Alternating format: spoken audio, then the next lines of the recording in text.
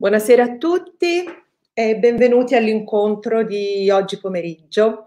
L'incontro di oggi pomeriggio eh, fa parte di un ciclo di webinar che eh, Mondadori Education dedica alle nuove metodologie didattiche con un'attenzione particolare alle risorse digitali.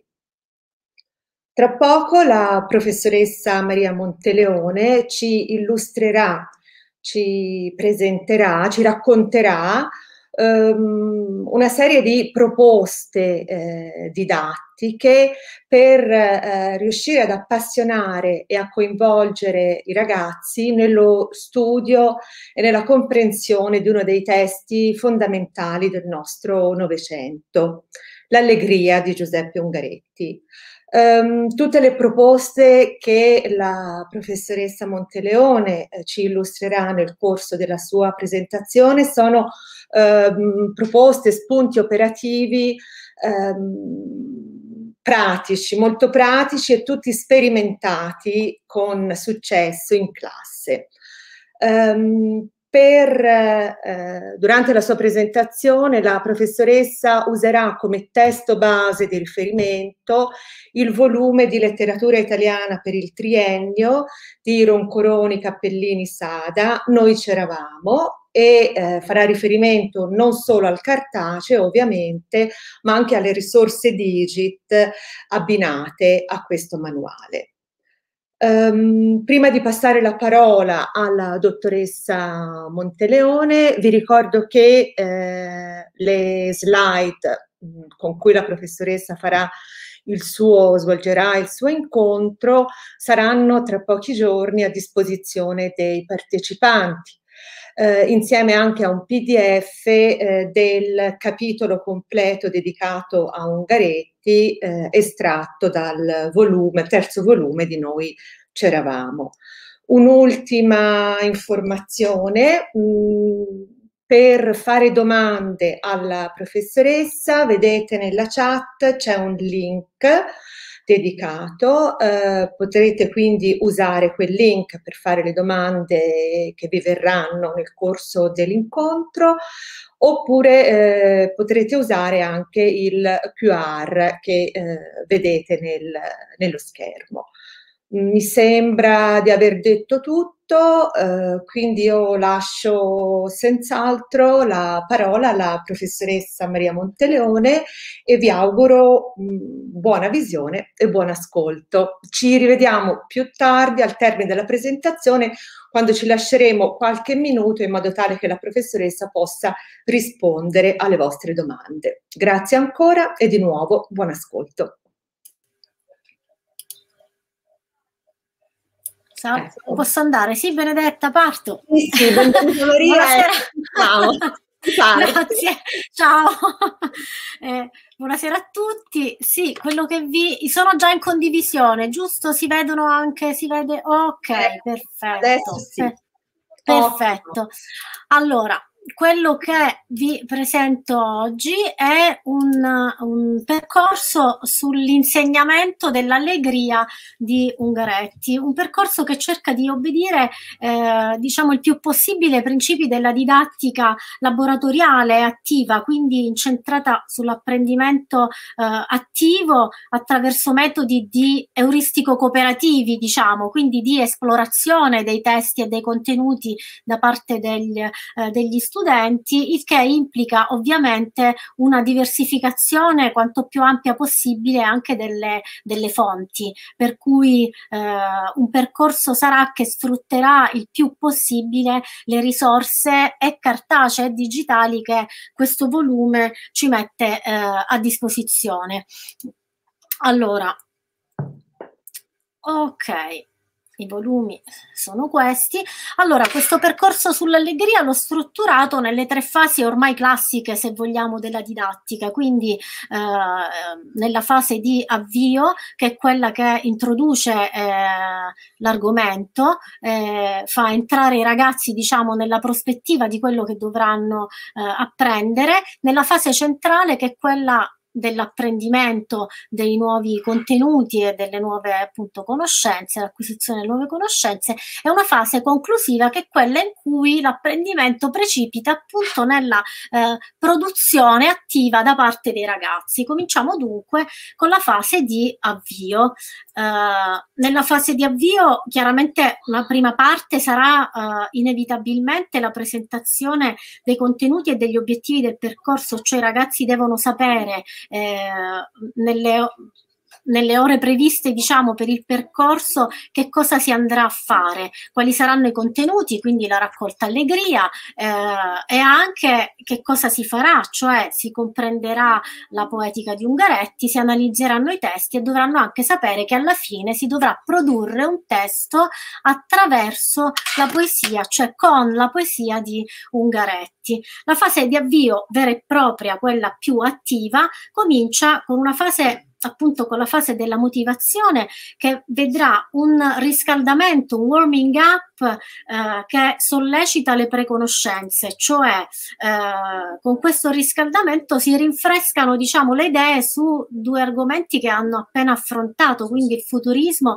e la prima guerra mondiale. Ai ragazzi magari potrà essere raccomandato di arrivare già alla lezione avendo un ripassino, facendo un ripassino a casa eh, su questa lezione, ma in classe i primi minuti saranno dedicati appunto a delle domande flash in cui saranno coinvolti tutti, eh, si risponde per alzata di mano e eh, il docente appunta Uh, i punti chiave che emergono li fissa alla LIM nella forma di una mappa concettuale che rimanderà direttamente alle mappe del cartaceo già fornite, che sono tra l'altro delle mappe modificabili.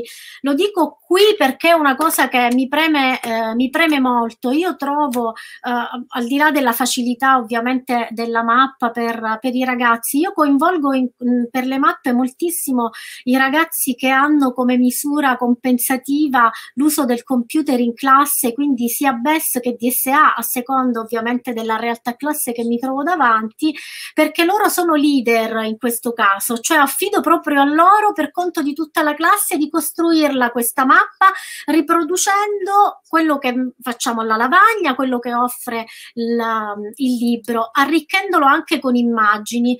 Ehm, e devo dire che per loro è molto motivante e incoraggiante.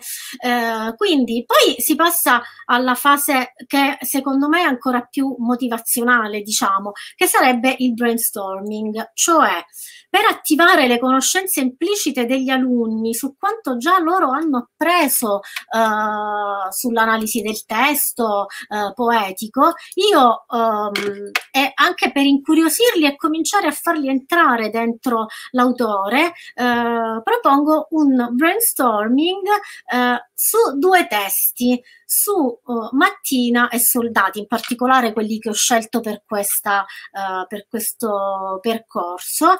Allora, come farò? Io li Uh, trascrivo diciamo alla lavagna e da lì i, i punti che emergono dal brainstorming uh, verranno fissati sempre in forma di, uh, di mappa. ovviamente preliminarmente io l'insegnante insomma, deve fornire delle informazioni essenziali su due testi, quindi dovrà dire che si tratta di due testi emblematici della poesia di Ungaretti e che entrambi fanno parte della prima raccolta dell'autore, che è l'Allegria, che rappresenta un diario poetico dell'esperienza bellica. A tal Maria, proposito, Maria scusa, sì.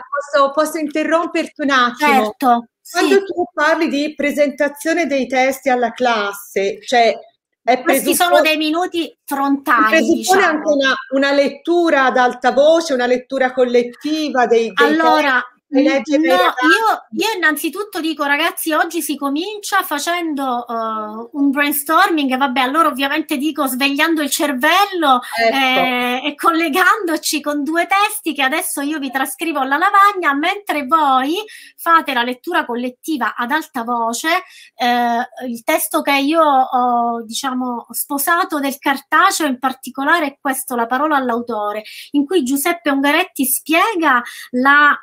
Um, la nascita la genesi di Veglia, ma che in realtà è molto generale, cioè può valere eh, in generale per qualunque altra poesia di, eh, dell'allegria, no? Perché qui Ungaretti dice, leggo le prime righe, ero in presenza della morte, in presenza della natura, di una natura che imparavo a conoscere in modo terribile. Dal momento che arrivo ad essere un uomo che fa la guerra, non è l'idea di uccidere o di essere ucciso che mi tormenta. Era un uomo che non voleva altro per sé se non i rapporti con l'assoluto, l'assoluto che era rappresentato dalla morte. Nella mia poesia non c'è traccia d'odio per il nemico né per nessuno, c'è la presa di coscienza della condizione umana, della fraternità degli uomini nella sofferenza, dell'estrema precarietà della loro condizione. Allora io ritengo che già queste poche righe quando i ragazzi lo affrontano in lettura collettiva, mentre io trascrivo eh, i testi alla lavagna, già loro entrano dentro alcune parole chiave, dentro alcuni concetti, nell'atmosfera appunto di questo soldato poeta che scrive e che mentre si trova lì, che può morire, pensa alla condizione di tutti gli uomini, quindi è una, un'ottima contestualizzazione a mio parere. Quindi i ragazzi si ritrovano, eh, diciamo, questi due testi metti sulla lavagna. A quel punto ha cioè, la fase divergente, diciamo, del brainstorming, e cioè il brainstorming, lo sappiamo tutti, è un'intervista di gruppo in cui l'insegnante fa soltanto da facilitatore. Allora, in questo caso io pongo delle domande stimolando le riflessioni degli alunni, le risposte devono arrivare da loro, quindi io li devo guidare per bene e devo orientare, come dire, la loro attenzione verso i punti salienti della poetica e nel frattempo tenere traccia ovviamente visibile nella forma di mappa alla lavagna delle idee che emergono. Qui avete una carrellata di domande che sarei pazza a proporvi, diciamo, eh, tutte quante, però ovviamente io chiederei cosa salta all'occhio pensando ad altri poeti che avete studiato, così si, già capiscono, è breve, oppure questa annotazione Santa Maria la Longa il 26 gennaio 1917, a cosa vi fa pensare? Loro già vengono introdotti a quest'idea che in un luogo e in un tempo preciso durante la guerra, quindi al racconto dell'esperienza bellica attraverso la poesia. Eh, allora, eh, dopo la fase appunto di questa intervista con questa carrellata di domande, eh, io di solito riepilogo appunto i risultati di questa fase divergente di questa intervista ordinando i dati emersi, così come poi i ragazzi li ritroveranno nel paragrafo sulla poetica e nella rispettiva mappa del cartaceo. Questo è molto facilitante per loro perché in classe li avranno tirati fuori loro prendendo tutto il tempo che era loro necessario e nel momento in cui lo ristudiano in forma discorsiva, ecco, lo hanno già appreso in sostanza. Per tirare le somme di questa fase convergente faccio leggere un'altra parola all'autore. Che cos'è la poesia? Si legge bene, Benedetta, questo allora, chiaramente non lo leggo tutto, in particolare mi soffermo sull'ultimo, vi leggo però le ultime, le ultime righe. Allora, sino dalle mie prime esperienze fatte nella tragicità della trincea, quando di fronte alla morte non c'era da pensare se non alla verità della vita, ho capito bene queste cose, mi sono sforzato nelle mie ricerche e scoperte di poesia a insegnare che ogni poeta ha da svincolare la propria originalità liberamente, ma che ha nello stesso tempo da ricordare ricordarsi che ogni poesia, per essere tale, deve anche possedere quei caratteri d'anonimia che le impediranno di apparire estranei ad un essere umano. Ogni vera poesia risolve miracolosamente il contrasto d'essere singolare, unica e anonima, universale. Perché faccio leggere questo? Perché io avrò guidato l'osservazione dei ragazzi, ora vediamo qualche domanda c'era, sul fatto che Uh, queste poesie hanno sì un uh, legame con la contingenza, ma hanno anche un valore universale, in particolare soldati. Questo sarà un, un carattere, una caratteristica che sarà emersa ovviamente dal, dal, dal brainstorming. A questo punto, diciamo, una, come dire, eh, l'odore e il colore di Ungaretti i ragazzi ce l'hanno. Per casa si chiude la fase di avvio e la fase centrale, quella dell'apprendimento, quindi dell'acquisizione delle nuove conoscenze, io l'affido innanzitutto ad una flipped classroom parziale almeno, cioè ai ragazzi eh, raccomando a casa di eh, studiare la vita e le opere eh, di Ungaretti dal libro di testo, guardare il video ritratti da, da RaiPlay, queste sono le risorse eh, abbinate proprio al volume, ok? In cui Ungaretti in questa lunga intervista su RaiPlay espone la sua poetica e faccio guardare, ops, e faccio guardare anche il video che adesso vi farò vedere che è una delle risorse specifiche di questo volume. Allora vado e però passa qui clicca sopra. Ecco, ecco fatto, okay. fatto.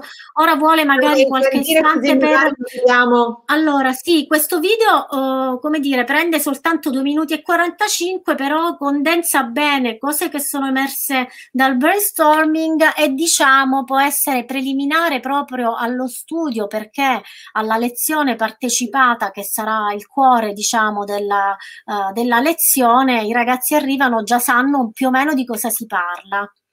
Eh, mi direte adesso che parte ecco. L'allegria. Sentite Bosco bene, sì? luglio sì. 1918. Si sta come d'autunno, sugli alberi, le foglie. La lirica Soldati è uno dei testi più celebri contenuti nella raccolta di Giuseppe Ungaretti, L'Allegria. L'opera è una sorta di diario di guerra per ogni poesia sono indicati il luogo e la data di composizione. Il poeta aveva infatti partecipato come volontario alla Prima Guerra Mondiale, raccontando in versi la propria esperienza nelle trincee del Carso. L'Allegria costituisce la sua prima raccolta poetica a carattere riassuntivo, nella quale confluiscono le raccolte precedenti Il Porto Sepolto, 1916, e Allegria di naufragi, 1919. È composta da 74 poesie divise in cinque sezioni. Ultime, Il Porto Sepolto, Naufragi, Girovago e Prime. La prima edizione esce nel 1931, seguita da altre due nel 1936 e nel 1942.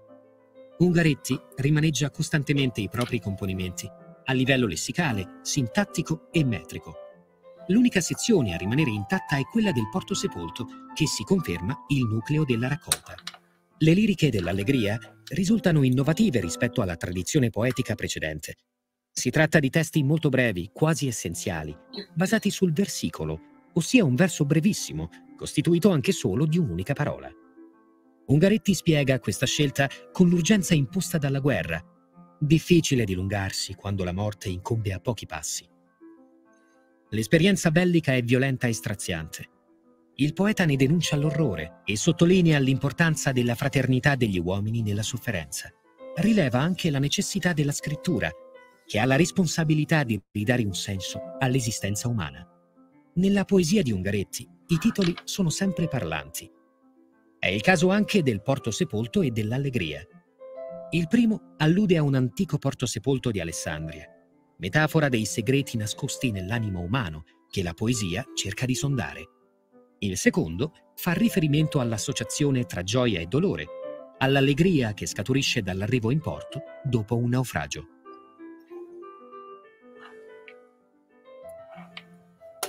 Ecco.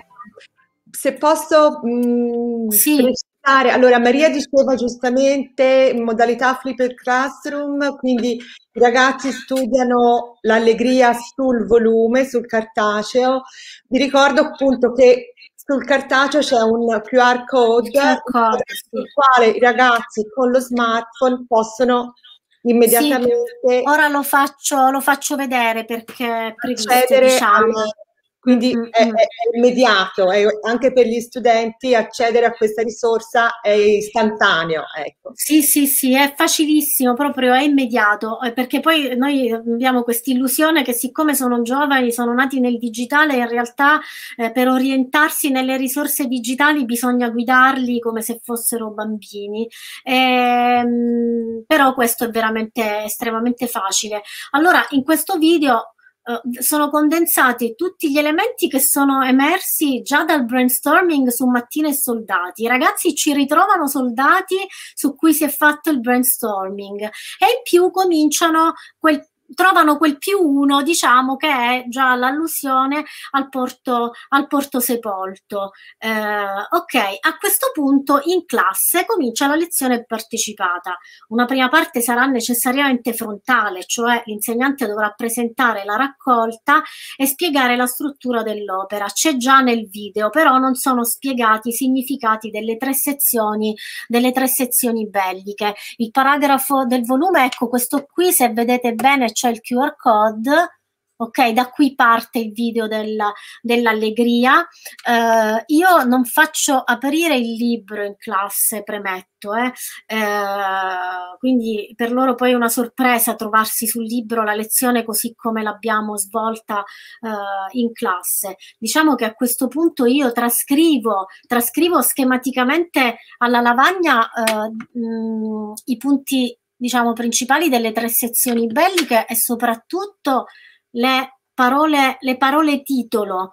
E gestisco un altro brainstorming un po' più mirato a questo punto, un po' più tecnico su queste tre eh, parole, non ancora su Porto Sepolto. Quindi altra carrellata di domanda, a cosa rimandano eh, le parole naufragio, girografo, eh, gi, mm, girovago. Eh, faccio ripensare alla lirica soldati che ha un significato eh, universale e chiedo il significato universale dei termini concetti, ma a questo punto, essendo già dentro eh, la poesia, io parto anche ovviamente con il riferimento intertestuale a Leopardi e all'infinito col naufragio e quindi affronto anche eh, il tema del ruolo della poesia e della natura che tra l'altro in parte... Ok, quindi laboratorio di analisi del testo, io sottopongo due testi, il Porto Sepolto eh, e Veglia. Eh, il primo, il Porto Sepolto, si esplora insieme, cioè io leggo, faccio leggere, leggiamo insieme la contestualizzazione in cui Ungaretti spiega il significato di Porto Sepolto, quindi il riferimento no, anche ad Alessandria, alla poesia, mm, che è un modo appunto di immergersi nella propria anima anima come in un porto sepolto e trarre fuori delle verità profonde. Prima di sottoporre il testo alla lettura glielo faccio ascoltare. L'ascolto è semplicissimo perché loro col QR code riescono no, ad ascoltarlo immediatamente. Dopodiché guido l'analisi attiva uh, da parte della classe io mi appoggio e faccio appoggiare ovviamente anche loro l'analisi del testo, però lo faccio espandere, lo faccio amplificare, lo faccio arricchire anche con le loro riflessioni, chiaramente. Eh? Quindi una volta ben scandagliato il te- scandagliato per l'appunto il porto sepolto, dopo l'esplorazione c'è la fase della sedimentazione di quanto si è uh, fatto uh, e pensato sulla, sul testo del porto sepolto. Quindi quindi un circle time. Un circle time ehm, ve l'eravate perso poco fa, vero? Mentre parlavo al sì. muro? Sì, perfetto. Allora, il circle time io lo spiego sempre alle classi che non l'hanno mai fatto nei termini di una seduta di terapia di gruppo, diciamo, come una seduta fra alcolisti anonimi e dico, bene, immaginiamo di essere ad una seduta di terapia di gruppo e riflettiamo, ognuno dica la sua. Su quali punti? Sulla poesia come strumento di ricerca e rivelazione di verità profonde o di segreti, di verità assolute. E poi eh, loro devono anche parlare della loro ricerca personale, delle verità profonde su di sé, sulla vita, sul senso delle cose, perché chiaramente io li devo invitare anche a riflettere su quale canale loro nella loro vita ehm, navigano, diciamo, meglio per Mm, per l'introspezione. Eh, dopodiché l'ultimo punto, diciamo, di questo circle time è una proposta operativa, cioè usiamo la tecnica di Ungaretti, esprimiamo una verità profonda, uno stato d'animo, un sentimento, un'esperienza con una frase essenziale, concentrata intensa di massimo 5-10 parole in sostanza alla, esprimere una verità profonda alla Ungaretti. Oramai il versicolo, la parola pura, eh, la metafora, la concentrazione e l'intensità della parola l'avranno ben eh, metabolizzata i ragazzi e così la possono rielaborare eh, con questa tecnica attiva. Ecco. Il secondo testo che è Veglia, che io propongo oh, molto volentieri perché è un testo che va incontro ai gusti dei ragazzi perché passa da un canale molto visivo. Eh, sono immagini che loro in qualche modo hanno già incontrato. Eh, nelle loro, eh, nella loro insomma, mh, mm, fumetti, film, eh, eh, serie televisive. Allora, Veglia loro l'analizzeranno eh, nella modalità del cooperative learning, che serve di rinforzo come attività di analisi del testo di rinforzo, cioè vediamo se sappiamo analizzare un testo da soli insieme però in maniera tale che a uno viene fuori un'idea, a uno ne viene fuori un'altra. In tempi di pace io normalmente passo fra i banchi, diciamo, dei gruppi, dei piccoli gruppi che lavorano per monitorare, facilitare, coinvolgere chi vedo più in disparte magari ehm, e incoraggiare eh, e che adesso però devo dire sto facendo anche in DAD. I ragazzi eh, funziona bene anche in DAD, loro staccano i microfoni dal gruppo della classe e fanno la loro chiamata in piccoli gruppi e io entro nelle varie, nelle varie chiamate per, per vedere come, come procede. A questo punto siamo nella fase conclusiva che è quella della produzione e quella della produzione io affido eh, dei compiti, su Ungaretti in particolare, dei compiti di realtà sempre da svolgere in piccoli gruppi o anche soltanto a coppie. Può essere a partire da una scelta di poesie, quindi dovranno andarsi a spulciare delle altre poesie di Ungaretti, scrivere delle cartoline di guerra, quindi rielaborazione del testo proprio in un altro codice. Eh, e poi, prima di prima che loro scelgano diciamo come procedere, propongo per l'appunto la bacheca. Durante, la mia interru- durante l'interruzione, Benedetta, avevi già eh, fatto vedere la bacheca? No, avevo semplicemente fatto vedere il trailer del film um, Torneranno i prati di Ermanno Olmi. Ok, allora questa... siparietto centrale. Okay. Ecco. Questa bacheca immagini di guerra, uh, io sono innamorata di questa bacheca perché aspettate che mi... Uh, che la condivido. Dunque, perché è veramente un, un pozzo di, di, fonti e di ispirazioni per i ragazzi che amano eh, veramente navigarci. Ho fatto la prova, anche se ancora non è ecco, attiva, però l'ho sottoposto. Eh, ecco qua. Benissimo. Allora, lo ingrandisco un po', così lo... Ops, forse troppo. Allora, questa bacheca funziona così. Ovviamente prima di cominciare, per cominciare si scorre, ora c'è l'addio alle armi di Hemingway, quindi la parte, diciamo, prodotti intertestuali, per riferimenti intertestuali, Jacques Tardy, ogni singola voce è selezionabile. Uno dei compiti di realtà, per esempio, che io ho pensato è un dialogo immaginario fra il soldato Ungaretti, per il quale la poesia è un rifugio e tutto quello che è venuto fuori durante la lezione partecipata, e questo personaggio di eh, un anno sull'altipiano. Leggiamo un attimo questo, questo passo. Si vede bene, sì, Benedetta? In cui questo personaggio dice sì, ok, eh, in cui eh, un personaggio che sostiene che in guerra servono soltanto i generi di prima necessità, ok?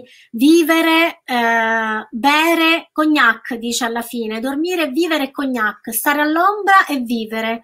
E non pensare a niente, perché se dovessimo pensare a qualcosa dovremmo ucciderci l'un l'altro e finirlo una volta per sempre. E tu leggi, cioè un soldato che leggere, quindi la vita dello spirito, come dice prima, sia una cosa penosa, assolutamente eh, inutile, ok? E il soldato Ungaretti che invece nella poesia e nella vita dello spirito trova una salvezza e una, e una lettura eh, della condizione umana, ok? Quindi questo potrebbe essere un compito di realtà, immaginare e mettere per iscritto un dialogo fra questi due soldati, il soldato Ungaretti e quello di, di Lussu, oppure ancora ancora il materiale, tanto veramente, qui c'è un'avventura grafica sulla prima guerra mondiale, eh, che questo che eh, ovviamente esplora poi va nei comics quindi anche un, un, codice, un genere che ai ragazzi è molto molto eh, familiare.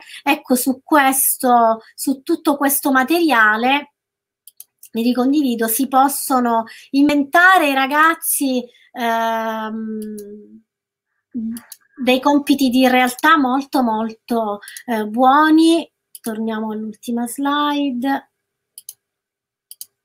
Ecco qua eh, appunto un altro può essere un manifesto soprattutto per la parte altre immagini di guerra no? della bacheca, quelle forniscono tanto materiale per questo compito di realtà che è anche incontra l'educazione civica proprio a pieno, no? un manifesto di fratellanza uno slogan per una campagna di pace, un'iniziativa di solidarietà per i profughi di guerra.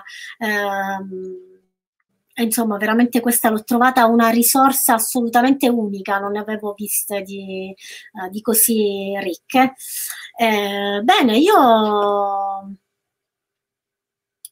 la mia lezione, ecco, finisce, ecco. finisce qui e per fortuna siamo riusciti a portarla siamo riusciti ad arrivare in fondo, ci siamo riusciti in un modo o in un altro, in un modo molto accidentato, ecco, da proprio io non ho parlato, allora voglio dire che io non ho parlato di verifica in nessuna lingua, nel senso che eh, chiaramente i ragazzi con, una, con, un percorso così attivo arrivano in fondo e sono già valutati, per cui eh, la stesura di un compito di realtà o se vogliono mettere anche per iscritto la loro analisi del testo, eh, di un testo che hanno scelto come materiale per il compito di realtà, a me già basta per la valutazione cioè a quel punto lo so che loro sono in grado, anche dal punto di vista della verifica, di solito mi muovo in questo modo, perché vedo che già facendo una lezione partecipata le risposte loro le danno. Ecco, io dunque nel ringraziare Maria che insomma è riuscita a superare tutti questi inciampi, arrivare in fondo. Eh, volevo, cioè, notavo con piacere, le, oltre alle tante domande che sono eh, arrivate, anche tanti apprezzamenti per tutte queste modalità proposte da Maria che mettono davvero lo studente al centro. Quindi eh, sono davvero delle strategie didattiche molto inclusive che personalizzano il percorso di apprendimento e lo rendono quindi eh, destinato ad essere permanente. No? Quindi dicevamo con Maria, eh, lavorando su questo nostro incontro nei giorni precedenti, come alla fine, grazie a questo continuo chiamare in causa eh, la soggettività, l'emotività, stimolare continuamente il ragazzo a arrivare da solo a eh, certe eh, informazioni, a certe conoscenze, alla poetica di Ungaretti, alle caratteristiche della sua poesia. Alla fine il libro di testo, il manuale di testo diventa una sorta di diario personale. Sì, loro ritrovano, loro ritrovano veramente sul testo, loro ritrovano il percorso che si è fatto fisicamente insieme. Io dico fisicamente perché eh, la modalità del circle time, la modalità del cooperative learning, la modalità anche semplicemente del, del brainstorming implicano per loro una partecipazione anche fisica perché si devono mettere in gioco eh, con la la voce, con tutto. Quindi non sono cose che loro, è un lavoro che si fa in classe e che eh, rimane, loro ricorderanno tutto di questo. Io di solito eh, parto già dal secondo anno, diciamo, a fare questo tipo di lavoro, perché quando si abituano a fare l'analisi del testo in questo modo, ora un percorso su Ungaretti di questo tipo si può fare anche in un secondo anno, nel secondo quadrimestre, per dire ora siamo in un terzo volume di un quinto anno, però anche in quinta, per esempio, in quinta volevo fare una specificazione, non so se c'era già una domanda rispetto al fatto che questo percorso chiaramente cioè, mh, occupa un po' di tempo. Ecco, la parte... sui tempi, sui tempi, ci sono domande sui tempi, cioè in quanto, te- quanto tempo tu ti immaginavi per poter svolgere tutte queste fasi? allora, più che immaginarmi, allora, ogni classe ha la sua storia e la sua risposta. È vero che eh, ho messo tanto tempo ad illustrare il warming up e il brainstorming e poi alla fine in un'ora, in una lezione di un'ora, se ne viene fuori.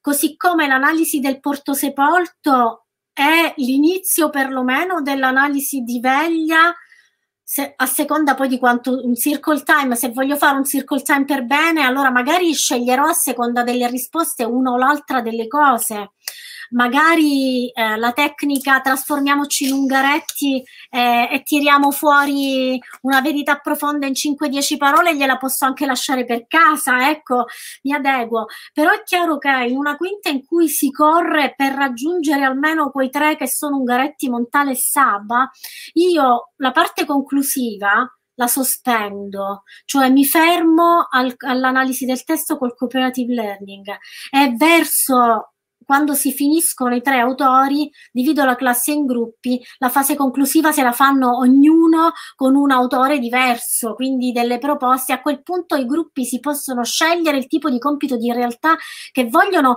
e che torna anche di rinforzo rispetto alla preparazione anche di un colloquio di maturità perché richiede fantasia, collegamenti intertestuali, creazione di ipertesti e quindi è una fase produttiva che posso tranquillamente rimandare. Quindi stacco e poi la faccio fare e la faccio fare parallelamente su più autori. Però di solito io gli autori in quinta, li, ma in ogni anno veramente, li presento sempre, li affronto sempre con questa tripartizione ecco, uh, della, del percorso. Ecco, tra le, mm, ecco, una domanda di tipo un po' più, diciamo, tecnico, ehm, che ricorre, una domanda ricorrente, dice dove trovo la bacheca? La bacheca fa parte delle eh, risorse digitali abbinate allora, sì, tra l'altro, ecco, io non ho, non ho, legato la foto, dunque, eh, l'ultimo testo proposto dal, dal volume è un'analisi anche con simulazione di prima prova, eccetera, e c'è un QR code che rimanda direttamente lì e comunque il docente se lo ritrova nella lezione digitale fra le risorse digit, l'alunno se lo ritrova attivando il libro. Allora io questa è una cosa che ho imparato, devo dire, eh, l'ho dovuta imparare, i ragazzi non attivano i loro libri.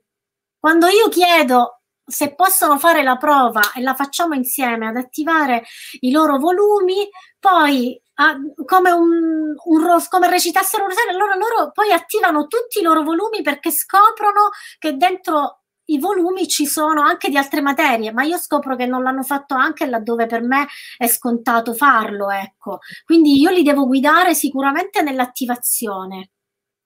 Fare vedere che è facile, in classe loro lo fanno direttamente col QR code, tanto ce l'hanno tutti. È il momento in cui io faccio tirar fuori il telefonino e loro uh, si guarda insieme, io suggerisco, poi a caso ovviamente se lo esplorano come vogliono, ma per la costruzione di percorsi, ripeto, conclusivi anche del quinto anno, questa bacheca, tra l'altro, quello è uno strumento che si modifica, cioè si può arricchire, si può partire da quello e aggiungere materiali come si vuole anche sulla seconda guerra mondiale, eccetera. Quindi Uh, è particolarmente versatile, soprattutto perché rimane come un deposito, un tesoro che la classe ha a disposizione di materiali. Va bene, io a questo punto direi che ringrazio Maria, ringrazio tutti voi per la, per la pazienza. Per la pazienza, io mi scuso per l'ennesima volta. E sì. Vi saluto e ci rivediamo presto, prossimamente, qui sul nostro canale per altri webinar dedicati alla didattica digitale integrata. Arrivederci a tutti, grazie. Arrivederci.